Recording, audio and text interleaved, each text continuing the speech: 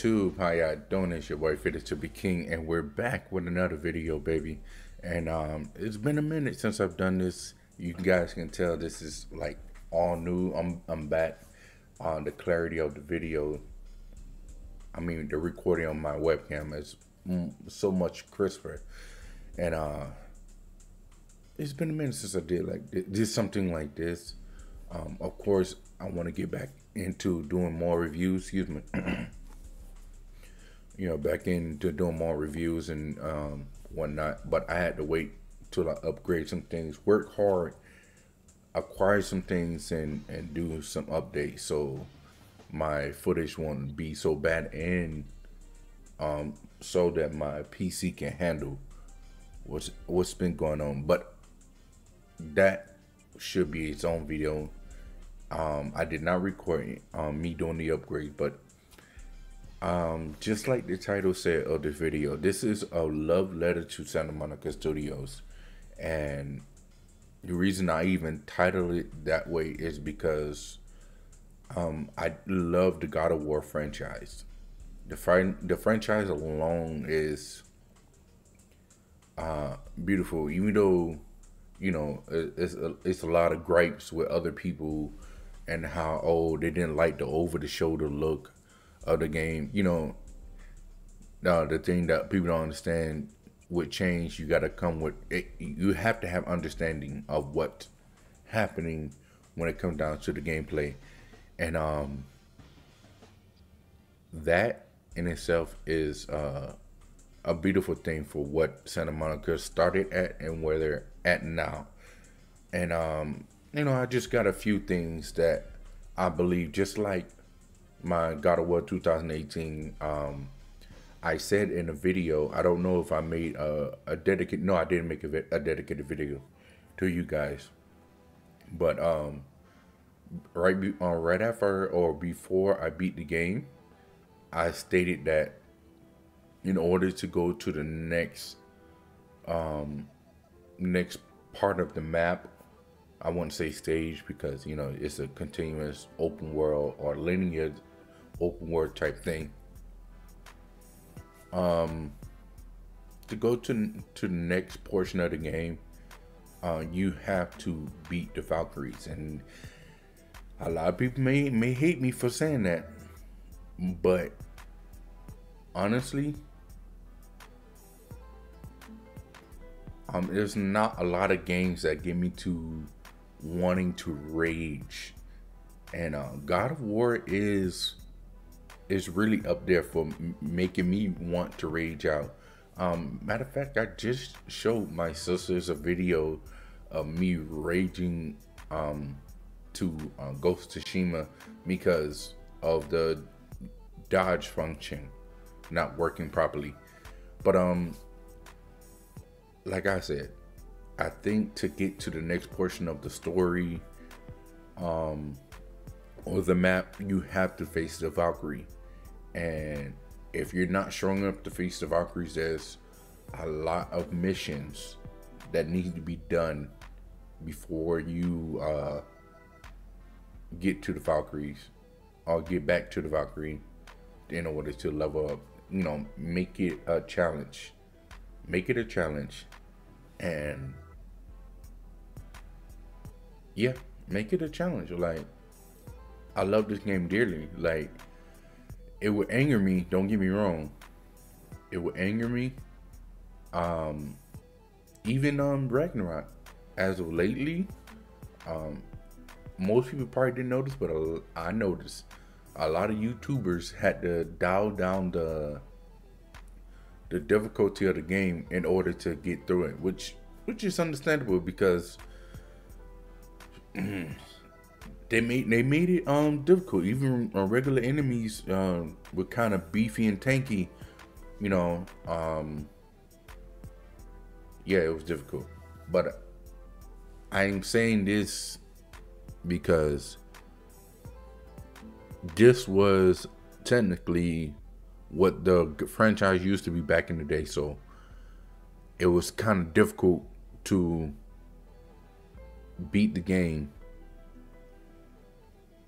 without getting to the next point. If you didn't beat that Pacific point, maybe not every yeah, maybe not every last um mini boss or boss in itself to get to you know what now that i think about it you did kind of um return to that.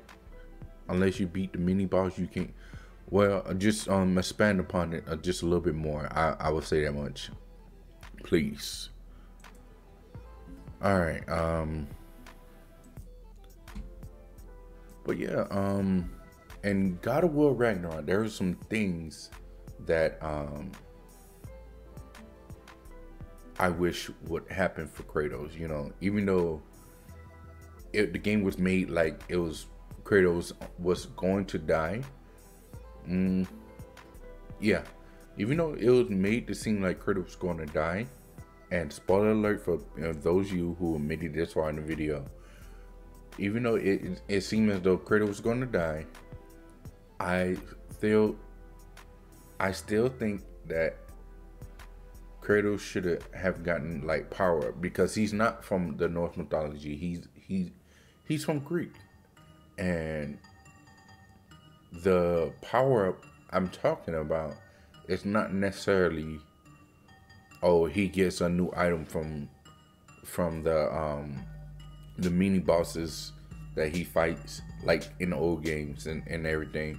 No, um there were phenomenons, phantoms, if you will, that were in the game where all the runic magic um, from the Norse mythology was gathering and becoming these phantoms. And because of that, um, these things were created. But I, I believe if anybody could destroy the phantoms, they should be granted some of that magic. I believe you guys should have um, could have flipped that energy or the the phantom power or energy um to power up Kratos a little bit more. Yeah, so every time he he beat one, he should maybe his um it depending on which one. Depending on which one, of course, this one be for uh his uh, his blades the power from from this phantom would go in his blades, and the other one, the two in Midgard, would go into his uh the two in Midgard would go into his his axe. I I would say, and I, I love the fact there was like unexpected. They they just showed up out of nowhere, and you have to face them if you want to open the chest or something like that. So it was dope that that happened in a nutshell. Um, let's see. Yeah, um, because Kratos is not from from the north. He should start gaining more power, especially the way the game ended. How him being worshipped, in which it is it, it's different. Um, if he's gonna be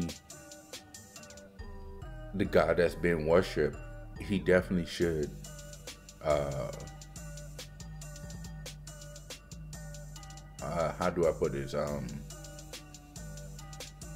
improve his his own magic power, which you guys were doing with the Spartan Rage. Um, not only did we learn in the first game that the Spartan Rage give you healing ability, but it, it also grants you a boost of strength for a time being until the bar come um, goes away. And then there are different um, variation of the Spartan Rage. I, um, and I totally agree with it. Which, when it comes down to the Spartan Rage, you, we should be able to change that on the fly, not so much having to go all the way back in the menu. Um, we should be able to um, change that on the fly um, like like how we used to cycle through weapons, or like even now, like, like how we cycle through weapons it should be uh, on on the same level uh, of that when it come down to the Spartan Rage. You know, we get Valor or the Fury, and uh, I can't remember the last one, but um, to be able to do something like that is awesome. Um, so you know, being that the Spartan Rage is a boost of strength and uh, a variation of healing ability. Um, that's just one thing that Kratos, you know, have gotten or learned how to do with his own powers, which is lovely. We should see more of that. Um, now, back to the Phantoms. Like I said, every time he defeat a Phantom, it should become his power some some way somehow because that's all the power that's been gathered throughout um, the nine realms, or, or within that realm, you know, after fighting each and every phantom. But um, even um, Namir said that Kratos and Atreus are getting stronger. Everybody else is getting weaker.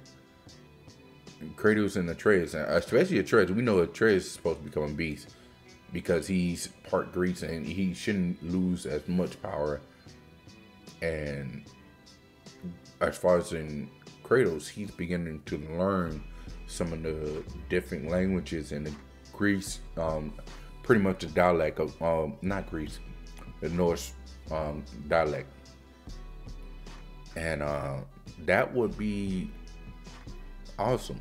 Now, from what you see on my screen, the Berserkers. I haven't beaten all the Berserkers.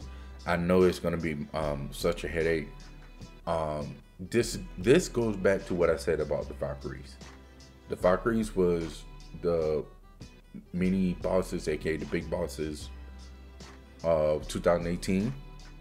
Uh, so the Berserkers will be the mini big bosses of Ragnarok, which is on 2022. And um, because because they're they're they're replacements for the Valkyries in a sense um, like I said, we should have to we should have to uh, beat one to get to the next point of the game. Uh, the, the to advance the storyline in some way somehow. So that in a nutshell would be lovely. It would be a pain. It would make um it would make a, a lot of the players have to go back and actually compete um compete complete um some of the side missions like um a lot of I when I was watching some of the other YouTubers and Twitch streamers um they didn't complete um Freya's missions until pretty much close to end game or after the end game uh, of you know Ragnarok happened where it was very vital that she gotten two swords. Yeah, she got two swords. And one of the swords um, is powered up by Bifrost, and that is critical. From my standpoint, that that was critical. It helped out. You just need to know the proper timing to use it, and that was lovely. Oh, and another thing, I I think um on, my honest opinion, yes, I know the blades weren't fully powered up, but being that they're not from this land and they can pretty much take on the underworld of this land, which is Helheim. Um, they should be hitting like a tank by maybe the fifth or sixth combo They're closely hit it like a tank. So it, whatever percentage that you guys got for when that that, that combo come in, um, they should hit a, a tad bit harder. It took a lot to even to. It took a lot to even to level them up because the, the levels was so sporadic, and that's when I say right now, you can tell where the focus was. The focus wasn't so much on the armor and and, and the the weaponry, uh, unless you know we're talking about the um Draupnir spear. Um, that that was the only time it really focused on armor. You can really tell, and not so much say that oh, it was bad that they did it that way. Nah, nah I, I understand. You know, you got a budget. You going you only got so much of a, a time frame to complete, but this is why it. One of the reasons why we probably should have gotten a third game. And I know, I know. Well, technically, you guys were at odds when it came down to making this in the Norse mythology and the Egyptian mythology. So I know um, Cory wanted didn't want to be there too long, so that's why he kind of um, handed the second um, game off to you know the new director, uh, and he's been working on the next one. So, but yeah, um, this this is why we should have got the third. Um, it should have been the three three part series, and because you've been able to flesh out a lot of things that weren't um, fleshed out. We still don't know how the horn got blown. Um, to you know, to speak with Jormungandr. Um, the thing with Odin being um, sneaky, conniving, manipulative we should have got a lot of that. And we should, when I say we should have got a lot of that, um, we only knew that um, Sif, Thor's wife, was the one trying to, you know, get Thor to understand that this man has always been this way, and you pretty much just ignored it.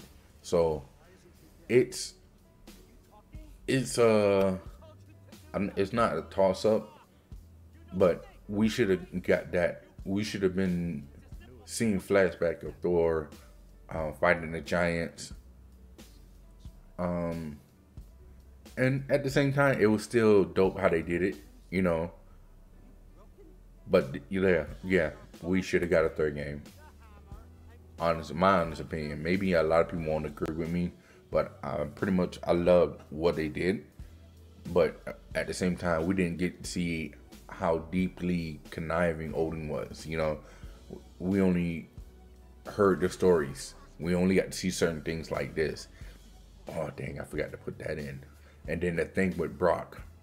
What happened with Brock? And hey, guys, if you made it to this part of the um the video, I'm I'm spoiling you. You had time to play this game, bro. You had time to play this game, and um, he um that was um fantastic fantastic the way that was way that took place. I'm gonna just put it like that right? And the fact the, the fact the fact of the matter that he was able to sh- um shapeshift or whatever it's called into um Tyr that was that was phenomenal. I was not expecting that. But um yeah bro um there's a lot of things that we we uh we need to see. Maybe uh nah a DLC wouldn't be wouldn't be right. But um overall um this is my love letter to Santa Monica. Cory Barlog please um if you ever get the chance to see this video check it out. And um um well not so much respond but I wouldn't say make it um a really hard challenge, but make it a challenge to where a lot of other creators have to do certain things. Um, a lot of the side missions should correlate with the story. You know, it, it will. When I say correlate with the story, make this that story just that much easier. Like for instance, learning that that actual health bar changes colors, let you know how ready you are for the the enemies that you're fighting. You know, all the berserkers, um, or even the um the Drago We it should have been a lot more Drago I say I will say that much. It was those should have been headed. Uh, even you can even have used those to push push everybody to get to that next level, or you getting special gear, or the ability to level up depending on because how hard it was to face the the Dragon um bosses or whatnot whatnot. So you know you guys already know what time it is. Please like, share, subscribe. Come through, catch your vibe with your boy. It's your boy 50 Sippy King. Peace. I love you guys. We out of here. We out here, baby.